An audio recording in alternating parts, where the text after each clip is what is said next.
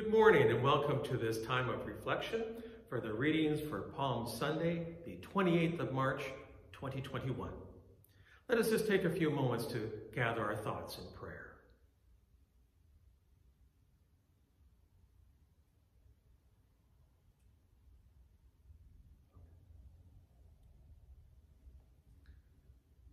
Blessed is he who comes in the name of the Lord. Hosanna in the highest. The night is past and the day lays open before us. Let us pray with one heart and mind. As we rejoice in the gift of this new day, so may the light of your presence, O God, set our hearts on fire with love for you, now and forever. Amen. Dear friends in Christ, during Lent, we have been preparing for the celebration of our Lord's Paschal Mystery. On this day, our Lord Jesus Christ entered the holy city of Jerusalem in triumph.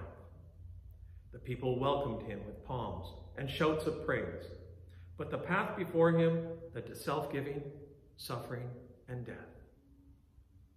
Today, we greet him as our King, although we know his crown is thorns and his throne a cross. We follow him this week from the glory of the palms to the glory of the resurrection by way of the dark road of suffering and death. United with him in his suffering on the cross, may we share his resurrection and new life. Let us pray. Assist us mercifully with your help, O Lord, our salvation, that we may enter with joy into the celebration of those mighty acts, whereby you give us life and immortality. Through Jesus Christ our Lord. Amen. Our collect or prayer for this, our Palm Sunday.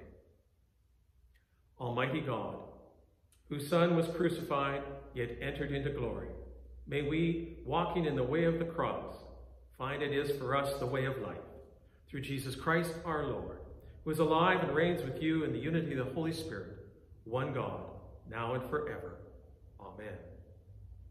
Let us pray for those who are coping with the coronavirus. Keep us, good Lord, under the shadow of your mercy. Sustain and support the anxious. Be with those who care for the sick.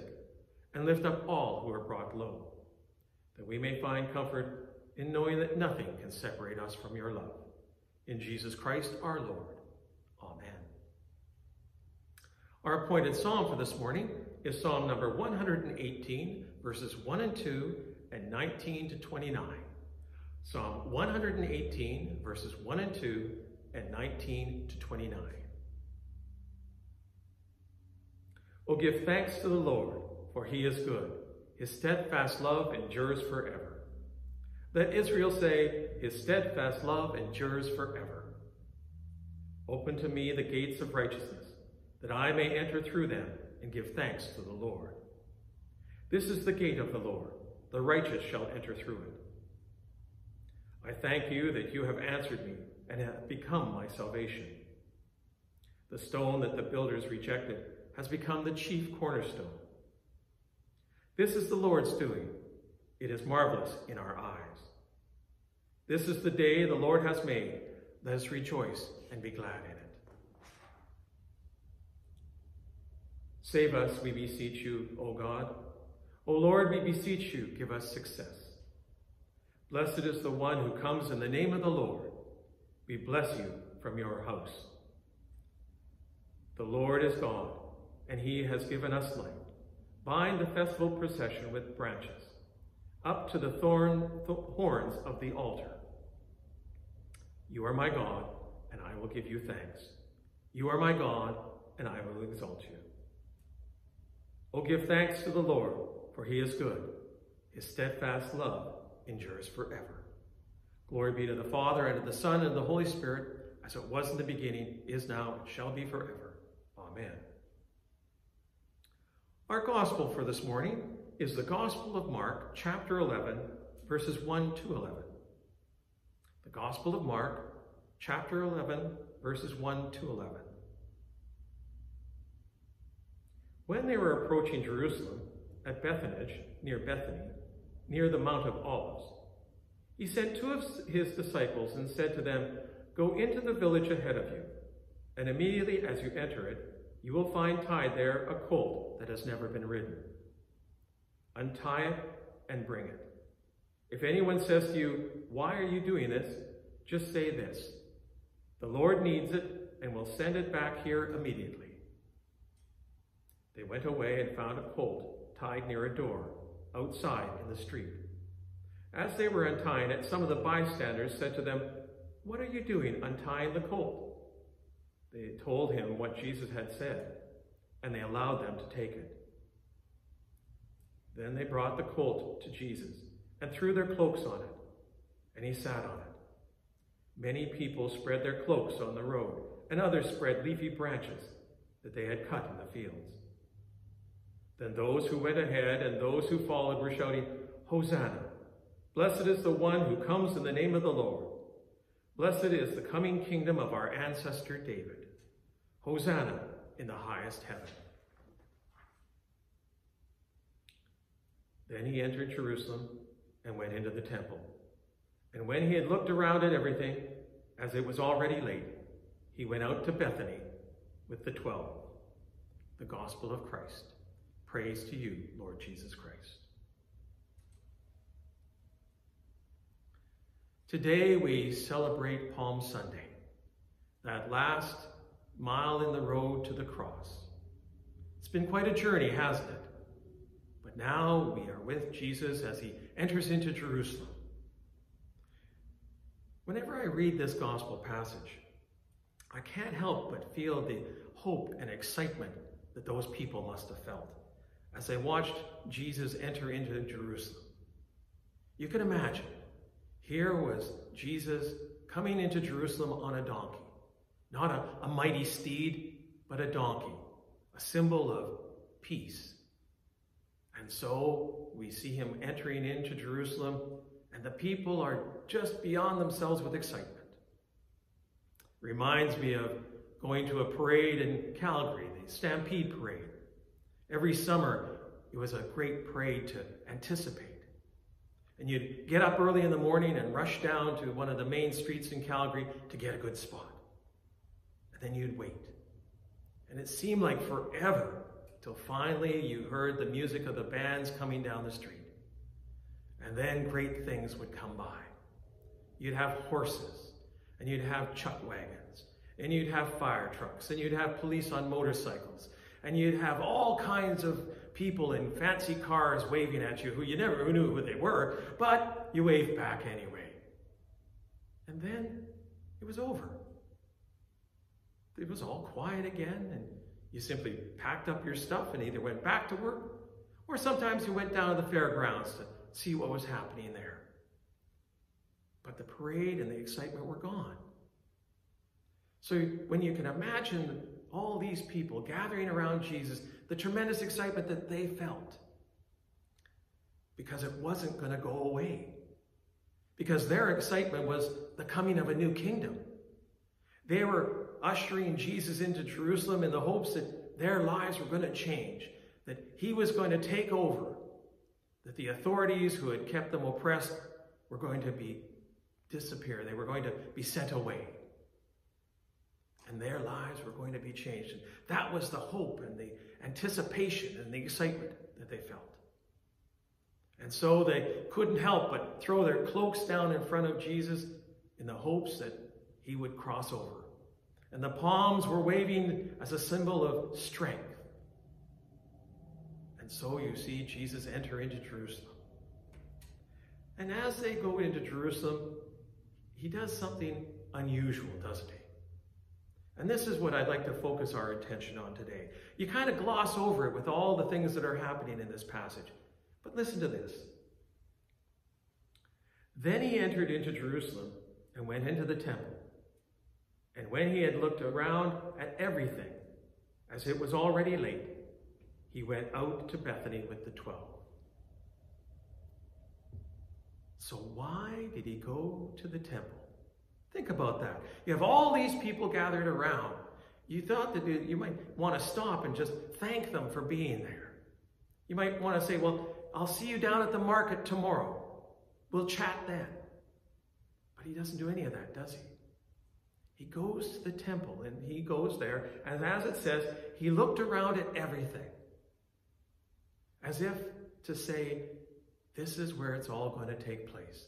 I just want to see it before all of the stuff happens. I want to look at it, I want to take it all in. And then what does he do after that? He and the 12 leave Jerusalem and go to Bethany. They don't stick around. As if to say, now that I've seen all this, now that I've seen the temple where it's all going to take place, I need to have some peace and quiet. So off he goes to Bethany. He leaves Jerusalem with the 12 and goes to Bethany. As if to say, in that peace and quiet, I want to talk to my Father. I want to teach the disciples as much as I can before all that commotion takes place in the temple. So you can ask yourself, well, that's fine, John, but what does that mean for you and I? Well, you and I are with those same people as they ushered in Jesus. You and I are there shouting, Hosanna in the highest, with our palms and our cloaks. But what's important is that you and I take the time now to enter into the temple, to reacquaint ourselves with our temple, with our church. And then take a moment to talk to our God. And I think that's what's so important is that now that we're in the temple, now we're in our church, we take the time to look around, to just anticipate the next few days that'll take place. And take a moment to talk to God and to give thanks that his son is about to enter into a journey through Maundy, Thursday, and the Last Supper, to death on the cross, to the resurrection of Easter. So think about that in the days ahead. Think about your church. Think about being a part of it and giving thanks to God for his son. Amen.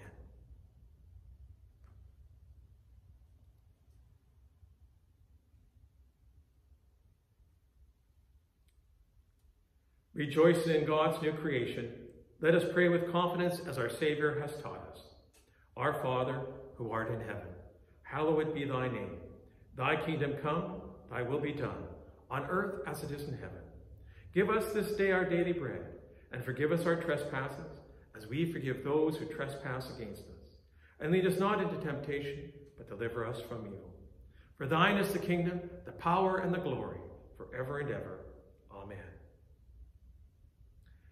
Let us pray for all who are sick in mind, body, or spirit. We ask for God's healing grace upon Bob Honders, Elena, Pauline, Velma, Nancy, James, Angela, Krista, Grace, Marjorie, Alota, Yvonne, Gore, Norma, Richard, Stephen, Michael, Shirley M., Carol G., Linda, Carrie and Matthew, Barbara, Kelly, the Bridges family, Pat, and to know and to those known to you alone.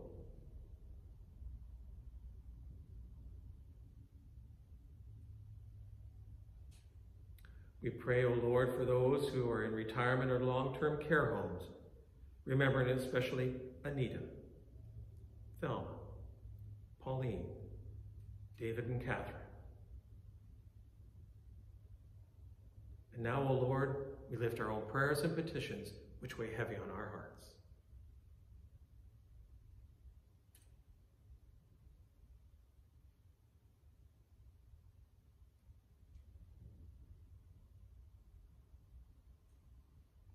Lord, in your mercy, hear our prayer. In our congregational prayer cycle, we pray for George, Barbara, Jonathan, Sarah, Thelma, Colin, Colleen, and Lorraine. By way of blessings and thanksgiving, we give thanks for our members who are engaged in the music ministry of our church. Lord, in your mercy, hear our prayer. Almighty God, you've given us grace at this time with one accord to make our common supplications to you. And you promise your well-beloved Son that when two or three are gathered together, you will hear their requests. Fulfill now our desires and petitions as may be best for us, granting us in this world knowledge of your truth, and in the age to come eternal life. For you, Father, are good and loving, and we glorify you through your Son, Jesus Christ our Lord. In the, in Holy Spirit, now and forever. Amen. As we take our worship and praise and prayer from this place, let us in our daily lives sustain us through the love of your Heavenly Father. May we feel the presence of our Savior walking beside us and know the power of the Spirit in both our actions and our words. May God, our Redeemer, show us compassion and love. Amen. Let us bless the Lord. Thanks be to God. Well, thank you for sharing this time with me this morning, and have a great day.